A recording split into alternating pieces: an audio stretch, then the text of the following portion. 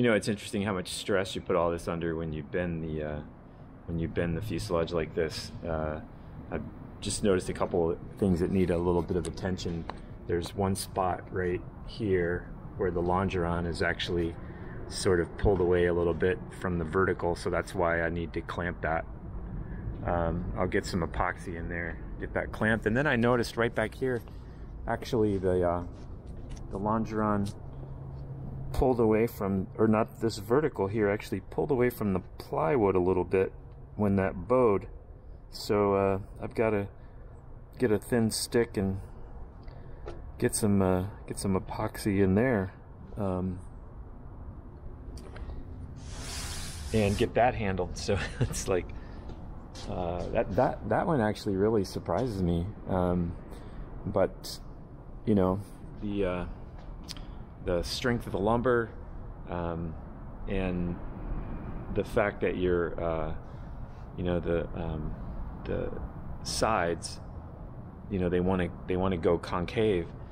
And uh, when they when they do that those verticals are uh, uh, trying really hard to, to pull away. So of course like I said before once the rest of the skins are on it, it's a uh, everything starts working together for all of its maximum strength so um, but that's uh, maybe that's the pop that I heard and not the backside of that uh, spar carry through.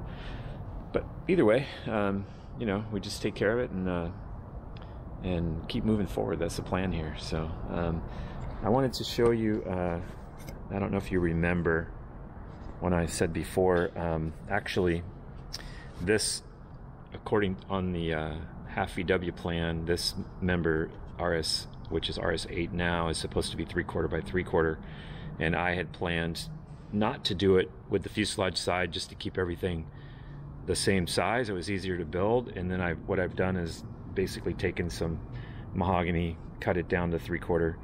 Um, and I, this actually works better in my opinion because um, I can actually capture the longerons right here. So I'm going to be epoxying this in. And then I'll have the three quarter dimension um, that it's calling out for. And at the same time, um, this will this will um, aid in capturing those longerons and uh, actually makes a stronger assembly, um, in my opinion. So, um, as you can see, what happens with butt joints when you put them under high stress. so, uh, so I've got those. I've got those ready to uh, epoxy on just before, uh, just before we put the uh, plywood in, because I want to get good adhesion all the way around, and uh, we'll I'll make something to get some epoxy in that part that popped right there. And uh, I'll just thin out a, a stick so I can get in behind there then I'll clamp that. At the same time we're clamping everything else. Um,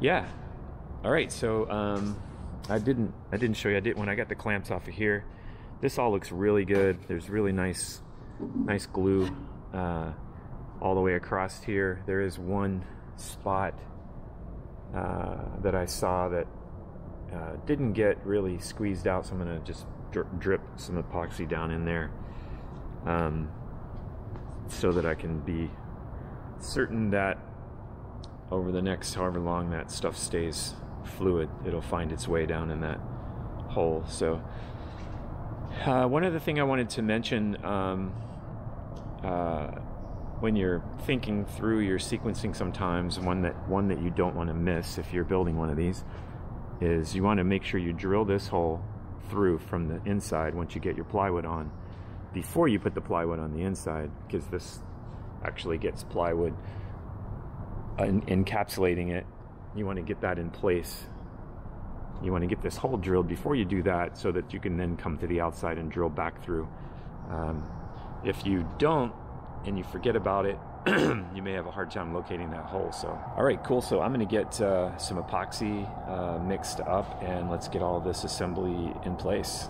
All right. All right, I just took a popsicle stick and I just really thinned it out, which will allow me to uh, get some epoxy in some of these areas here.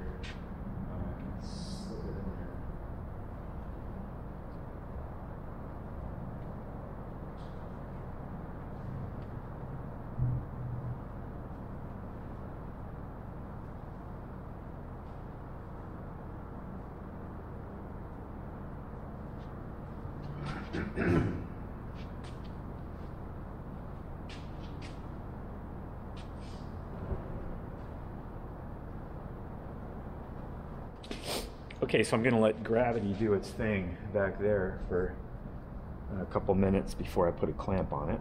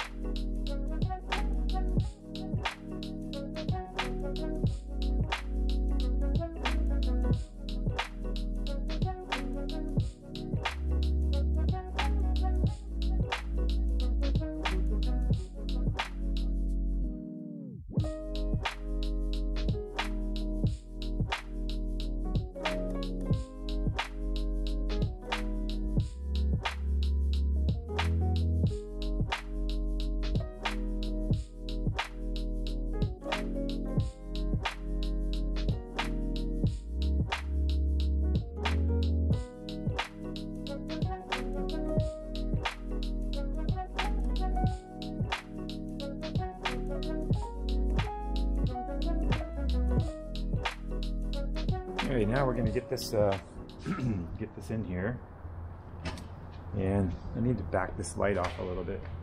Um,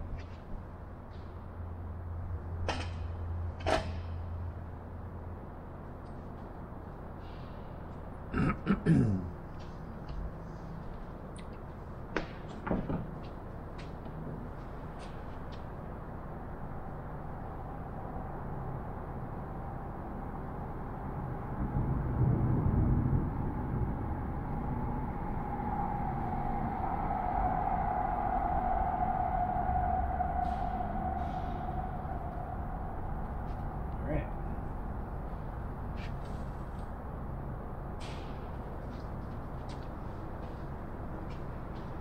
Now we can crank up our clamp here. This one is just providing security at the moment.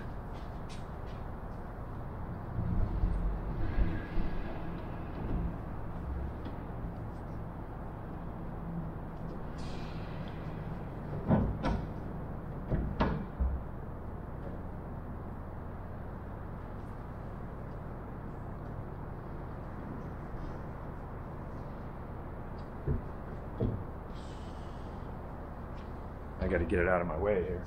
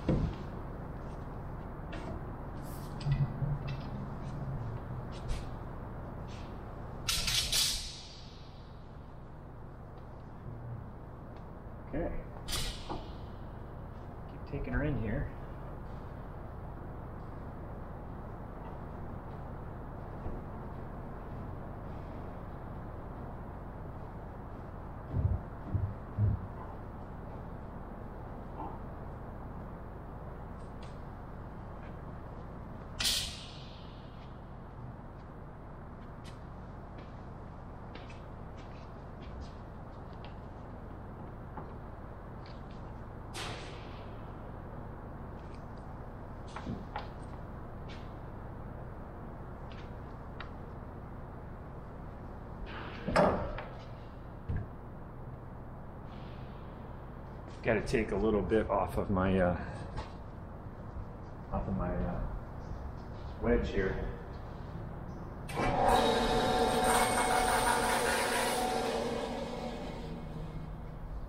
It's bottoming out on me.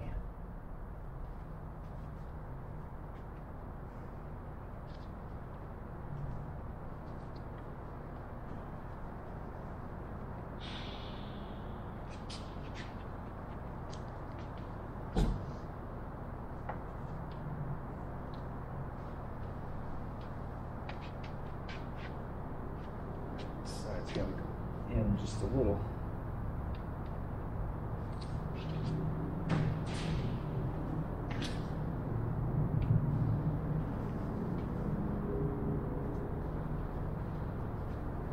I'm just playing with the wedges to get uh, back on the center line. So.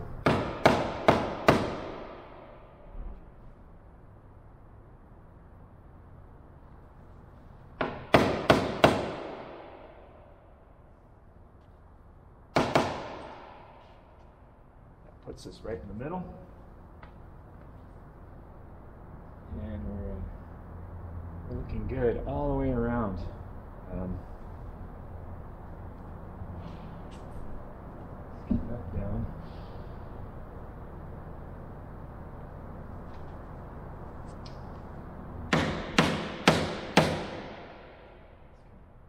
Tighten up that bottom. There we go.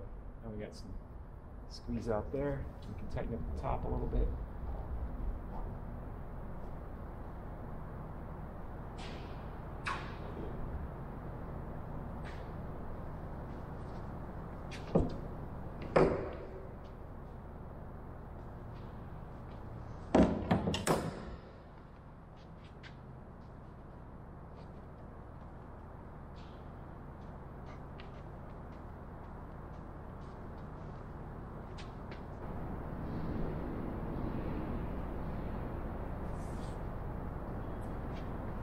All right. Now I can staple that in place.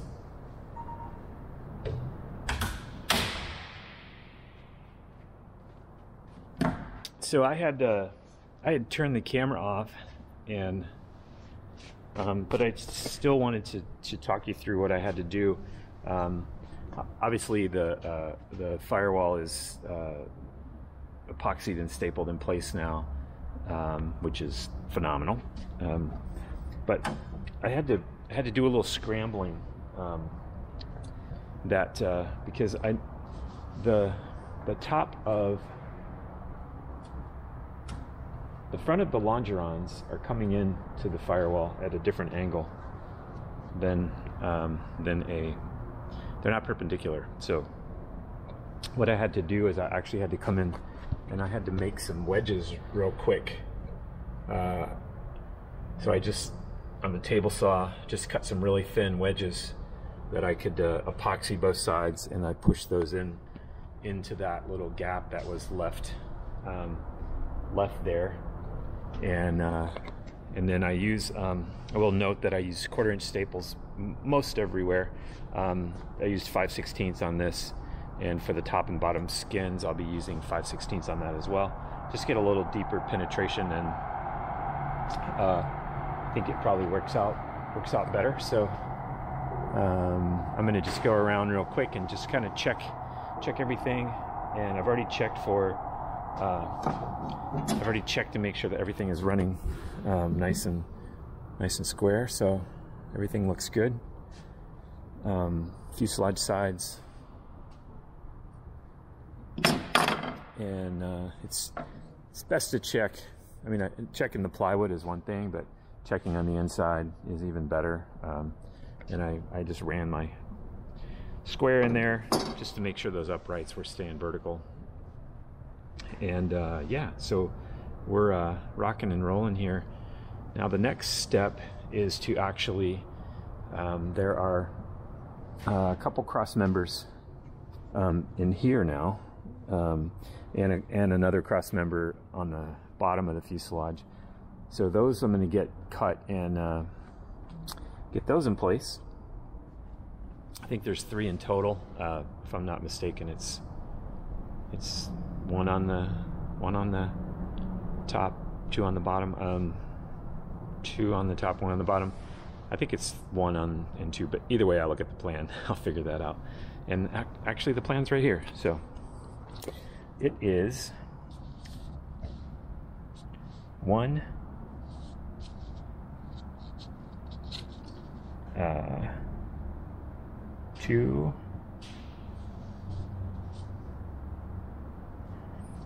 this one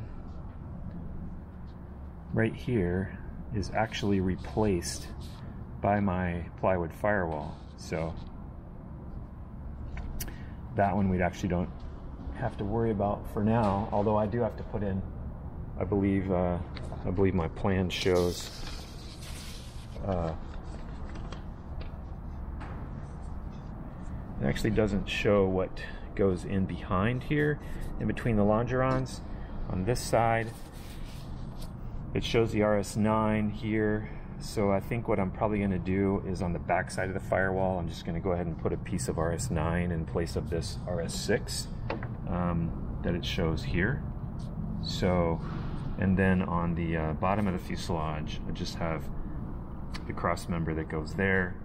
And then I have this RS6 that's actually back here at 57 and a quarter to the front edge. All right, so I've cut uh, I've cut my top and bottom uh, uh, RS9s that I decided to use on the back side of the firewall here. So um, those just go in um, like so. It's going to go in here like that. And so I can get these uh, epoxied uh, in place. I have one on the top, one on the bottom. i I probably could have used the RS6, but it just makes more sense to me to go ahead and use the um, RS9. It's picking up a little bit of uh, a little bit of weight, but um, the plan doesn't really say what to do, so that's what I'm gonna do. Uh, so I gotta get a little bit more wax paper under here, and then uh, I've got a couple blocks I'm gonna put in here. Um, I just want to make sure that I don't I don't end up pushing the uh, staples out when I put a block on the back side. So I'll get these two blocks um, in place. And, uh, and then when I go on the back side, since this is just bowed a little bit from the pressure, I'll end up pushing a block on the backside to make sure that we got good uh, uh good detachment. So the top I'm not as concerned about because I can see that and keep track of what's going on. So, uh, yeah, so uh, I'll get some more epoxy mixed up and we'll get these uh, we'll get these two glued in here. All right. All right, so I've got uh, I got this. Uh, here's the top one. The top one's in place, and uh, I see I've got some extra extra glue there I'm to catch real quick. It's just dripping down, not doing any good at all. So now I left this, uh, I left this just a little bit, uh, a little bit proud um, because I'm to actually uh, shape that, um, this bottom piece to kind of match the curve of the uh, longerons. So, uh, so it's actually sticking up a little bit, but I'll get that shaped in where I want it. And uh, you can see when I routed, I actually left, actually left some extra material here. So uh, I'll be just curving that in to fair into the, the other pieces that are going here. And then I got the bottom one in, and like I had mentioned, I got uh, I got the uh, blocks on the other side to make sure that I didn't push the uh, firewall out. And I just got them where they were right in the corner. So and so I knew those were gonna stay. Now that's all nice and solid. So once that uh, sets up this uh, front end is permanent. It's not going anywhere so uh, the, the, cool thing I noticed is uh, the um, half VW front end is actually uh, 13 and a half. Um, so the amount that is left to pull here is actually very easy um, to get these two into that. Uh, to, let me say that again. It certainly helps that there's nothing on them currently, but um, to get these into a 13 and a half is actually pretty, uh, it's taking very little effort. So uh, we will, um, we'll be working on that whenever this finishes setting up. So, and now I'll get that other RS6 member. Uh,